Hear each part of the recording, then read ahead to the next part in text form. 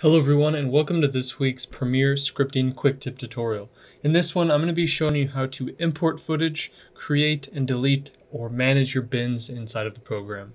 With this simple script we're going to be able to import any file we want. We're going to create a bin, move that file inside of the bin, and then at the end we'll add a capability to delete the bin which will also remove any footage inside of it. Before we get started with this video, I do want to remind you down below, hit subscribe and the bell icon to be notified of new videos coming out twice weekly on the channel. And down in the description, you can check out the code for this extension where we're writing code. You can also check out the script code in the GitHub link down there as well. Follow us there for coding updates, and in the description, follow us on Instagram for other updates. If you're not already a member of the Discord server, you can come and join and get help with scripting, extensions, plugins, expressions, and much more. Hang out with some of our VIPs and members and uh, just learn tons about scripting where you can't learn anywhere else. And also, if you'd like to help support us financially and get cool perks at the same time, you can become a YouTube member, supporter, premium supporter, or VIP, link in the description. So if you didn't already check out the first video in this whole month of Premiere tutorials, I created this Premiere Script Editor extension, which is going to allow us to easily create, open, save, and run scripts within Premiere, because obviously there is no File, Scripts button like there is in After Effects. But again, in this tutorial, we're going to be looking at how to import footage and manage bins. So I'm going to create a new JavaScript file. Let's just call this um, import and bins and hit OK. This is going to create a new script for us, which I'll go ahead and clear here. There's going to be a couple bugs with this script editor which need to be worked out over time. But just to make sure it's working, we're going to say alert hello. We're going to click on save and run it. And as you can see, we get a nice alert. So the first thing we're going to look at is how can we import files or a file from our computer into Premiere. The first thing I'm going to do is copy the path to my video file. So I'm going to create a variable called video file path and set this equal to a string. And I'll go ahead and paste this here, which refers to my videos folder. And I have this uh, example piece of footage here with a very specific name. So I'll copy the name and I'll paste that after our videos. Now, because this is a forward slash, there needs to be two of them. So that way, when it gets interpolated, it only appears as one. That's just a tiny hack. If you're using these type of slashes, you can just use one.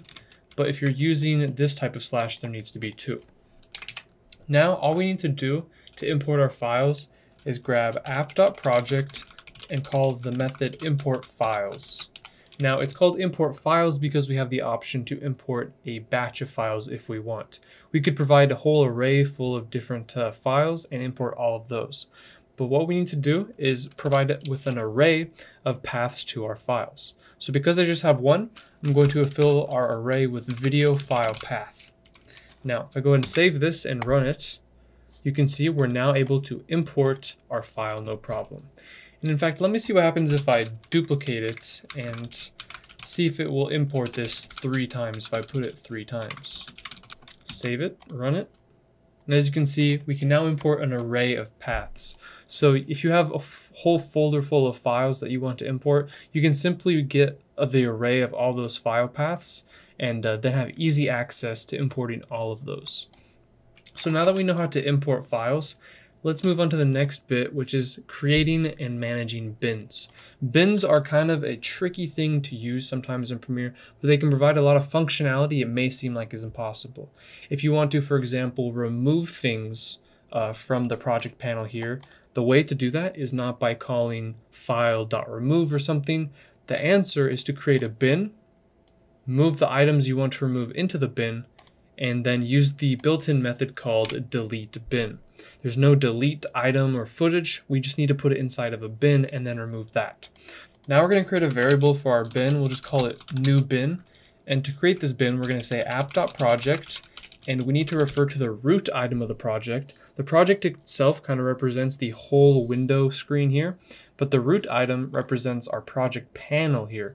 So if I add say a folder to this, our root item now has one item within it. So we're going to add it to our root item and we're going to say create bin. Now the argument for the create bin function required is the name of our bin. So I'm just going to call this remove me because we know that this bin's use is going to be to remove any files we want. Of course, you can create bins to organize files and keep them in there, but in this case, it's going to be used to remove things. So now if I go ahead and save this and run it, we're going to import a piece of footage and then add this remove me folder. Now, one interesting thing is if I, if I was to reverse this and I create the bin first, what this will do is import our footage into the bin. As you can see, we have our bin with this footage inside of it. Why is that? Well, because when we create a bin, if we just create the bin, it selects the bin. And whatever item we have selected when we import some footage is going to be the parent folder. In order to make sure that we don't have this selected after we create it, what we can do is say app.project.root item and we're just going to call select. What this will do is select any item we want. So if I run this, it's going to now deselect everything. If I wanted to specifically select a bin, I could then say new bin dot select, and it will then reappear as if that bin is selected.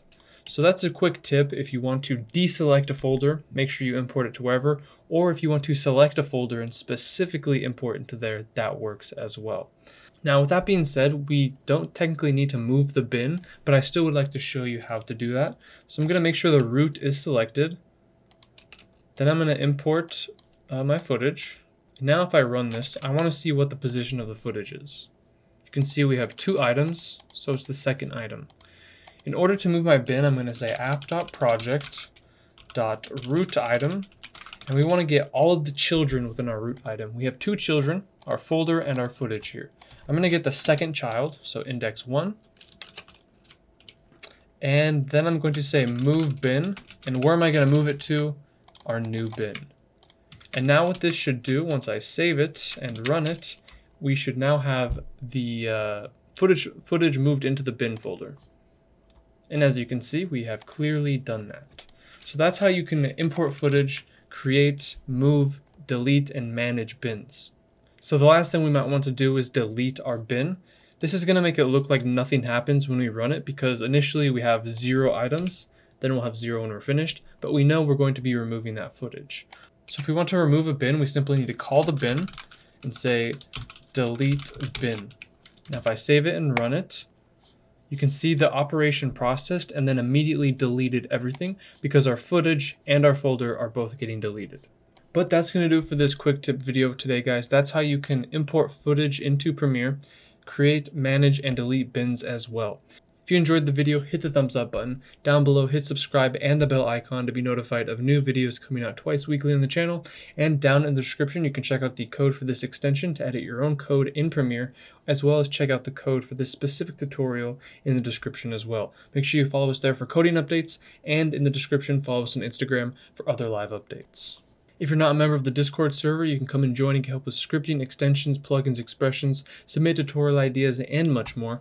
And if you'd like to become a channel member and help us out financially, you can become a member, supporter, premium supporter, or VIP, link in the description.